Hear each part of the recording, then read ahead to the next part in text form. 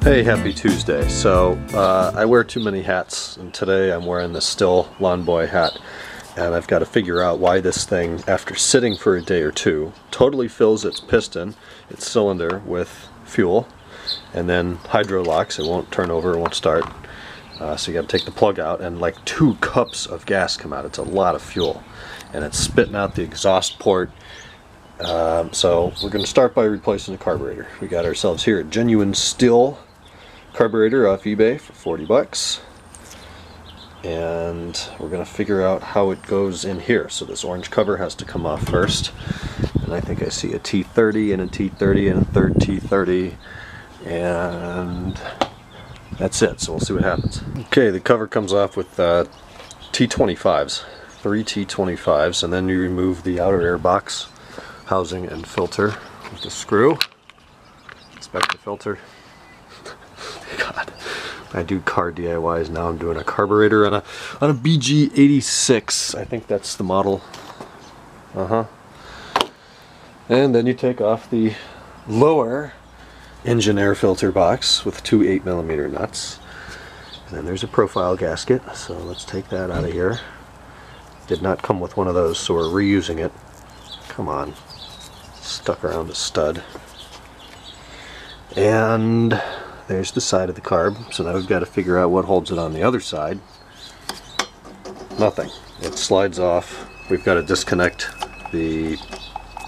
Is that the throttle cable? Yep, we got to take the throttle cable off, which doesn't look like it's going to pose too much of a fight.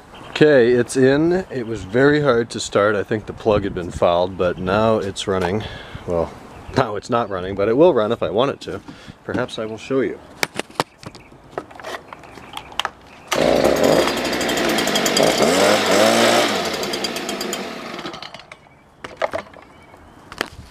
It's alive.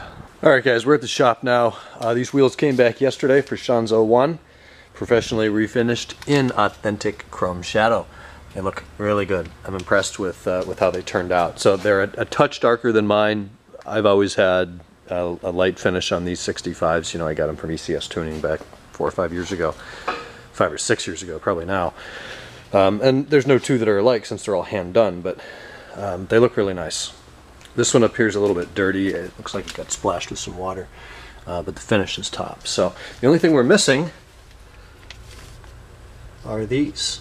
Anyways, we're gonna wrap up Tuesday. So uh, it was a shop day. I did do some work from home this morning, as you saw, with the blower, just random crap around the house.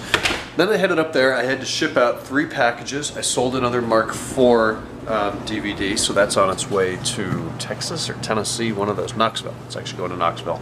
And then I finally sold the trim from Bravo Zulu 996310, um, which was the Briarwood Club in the titanium car that we flipped over this past winter.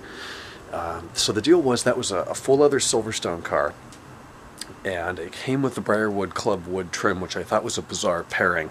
So I picked up a set of the Titan trim online, shelved the Briarwood Club. Definitely thought I would sell it in less than six months, but not the case. Um, and I ended up selling it for about the same price that I sold the Titan line for, which is nice. It just took a couple months to recoup. So that's on its way out right now. The full set, all four door panel pieces, three dashboard finishes, center console, shift knob, and emergency brake handle, all on its way to Texas. Uh, to a repeat customer. So uh, that happened today. Alex picked up a power steering box or a, uh, a steering gearbox without the servo from BZ97882. Kenan makes fun of me for knowing these VINs. That's just how I how I document and keep track of what sells from what car versus what our return on investment on the car is and when it came back and just all the metrics of that. So uh, that was today. I did some FaceTime this afternoon. I wrote invoices and printed spreadsheets and just technical nitty gritty stuff.